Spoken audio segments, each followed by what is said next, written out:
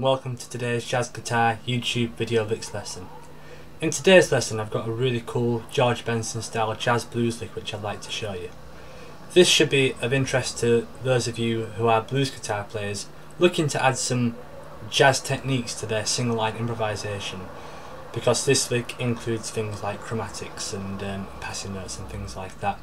Or it might be of interest to you if you're a jazz guitarist to simply really enjoys the playing of um, the blues-based jazz guitar players such as Kenny Burrell and um, George Benson. So without further um, delay, let's get zoomed in and check out how to play this B-flat jazz blues guitar lick. I hope you enjoy this lesson. Thank you.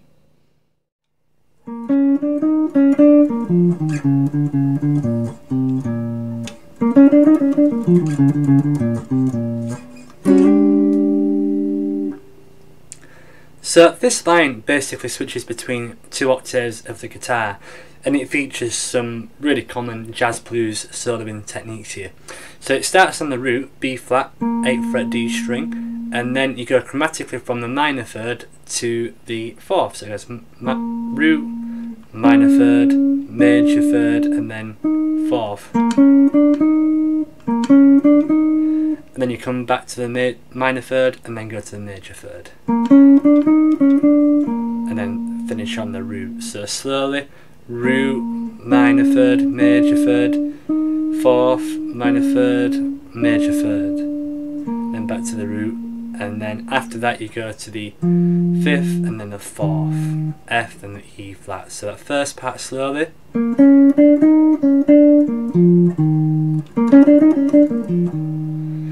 Really cool um, little jazz blues um, cliche that one. So that's the first part of the line. And then we switch to the lower octave of the guitar. And we have this kind of line here, very George Benson-esque really. Uh, and then we're going from the minor third to the major third again, twice. Then going to the root, then going to the ninth, and then going to the root again. So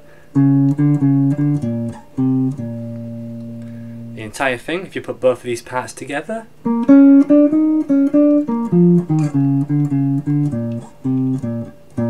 So, as you can hear then, I kind of um, went off on one a bit, but it really gives you that kind of um, down home sort of uh, blues feel that jazz musicians like to sometimes employ. So just one more time, nice and slowly, um, here it goes.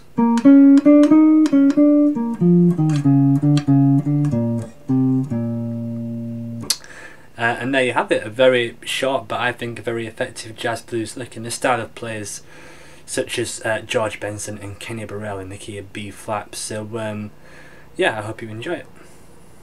Thank you for checking out this jazz guitar video licks lesson. I hope you've enjoyed it and it's proved useful. If you'd like to learn more licks like this, I have an ebook with an entire section of jazz blues licks called 50 Essential Jazz Guitar Licks, which you can check out via the link below. That has um, full information about this ebook. It has a PDF sample which you can download, as well as a few MP3 kind of um, examples too. So if you um, do enjoy this video lesson, please check out the ebook.